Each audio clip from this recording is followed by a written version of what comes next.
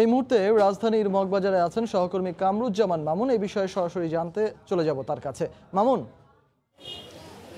Richard, বাসাবাড়ি বা বাইরে কোথাও আসলে স্বস্তি নেই। মশার উপদ্রব সর্বত্রই রয়েছে। এবং আমরা এখন রয়েছি মগবাজার দিলু রোড এলাকায়। এখানে একটি জনবহুল এলাকাতে আমরা রয়েছি, যেখানে অনেকগুলো চায়ের দোকান বা বিভিন্ন ধরনের মানুষের আনাগোনা এখানে রয়েছে। এবং আমরা দেখেছি সন্ধ্যার আগ থেকে এখানে ব্যাপক রকম মশার উপদ্রব।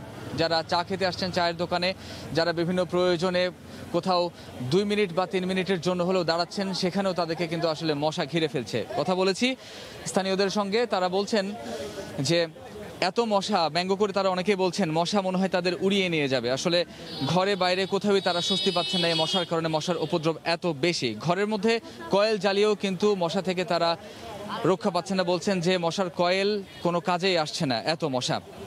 জানিয়ে রাখি যে গবেষণা বলছে যে গত বছরের তুলনায় এই বছর কিন্তু মশার ঘনত্ব বেড়েছে প্রায় চার গুণ।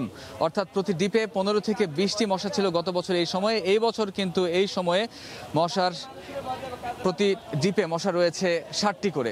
সেক্ষেত্রে বলা যায় যে মশার কি পরিমাণ ঘনত্ব এবার বেড়েছে। তো যারা এখানে এইরকম যাতনা সহ্য করছেন, তারা কিন্তু প্রত্যেকে বলছেন যে সিটি কর্পোরেশন যে কোটি কোটি টাকা খরচ করে প্রত্যেক বছর আনুষ্ঠানিকভাবে বিভিন্ন কর্মসূচি মশা নিধনে লাভা অনেক ধরনের কার্যক্রম তারা হাতে নেন।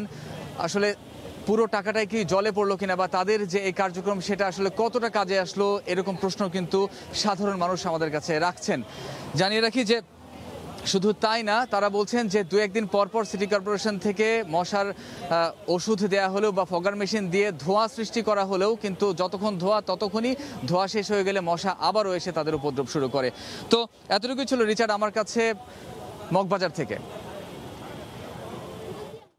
রাজধানীর মগবাজার থেকে মশার উপদ্রবের সবশেষ খবরাখবর জানাতে আমাদের সঙ্গে যোগ দিয়েছিলেন সহকর্মী কামরুজ্জামান মামুন।